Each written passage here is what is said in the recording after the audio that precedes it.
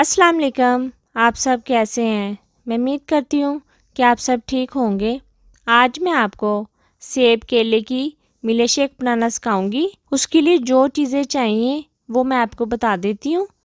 मैंने एक सेब लेकर उसे छीलकर उसे काट लिए मैंने एक केला लेकर उसे काट लिया एक टेबलस्पून मैंने चीनी का ले लिया है। एक मैंने कप ठंडे दूध का ले लिया है। अगर आपके पास ठंडा दूध नहीं है तो आप आइस का भी इस्तेमाल कर सकते हैं। अब एक जग लेकर हम उसमें केले शामिल कर देंगे। उसमें हम सेब शामिल कर देंगे। फिर दूध का कप शामिल कर देंगे। फिर चीनी शामिल कर देंगे। अब इस पर ढक्कन लगाकर इसे शेक कर लेंगे, ताकि इसमें कोई पीस ना रह जाए। अब आप देख सकते हैं कि इसमें फ्रूट का कोई पीस नहीं रहा।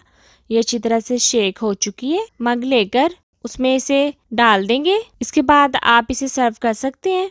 आपकी मिल्क शेक तैयार हो चुकी है। मुझे उम्मीद है कि आपको मेरी रेसिपी ज़रूर पसंद आई होगी। अगर आपको मेरी रेसिपी पसंद आई है तो मेरी वीडियो को लाइक करें, कमेंट करें, शेयर करें, अपनी फैमिली और फ्रेंड्स के साथ और मेरे चैनल को ज़रूर सब्सक्राइब करें मेरी और नई रेसिपी देखने के लिए।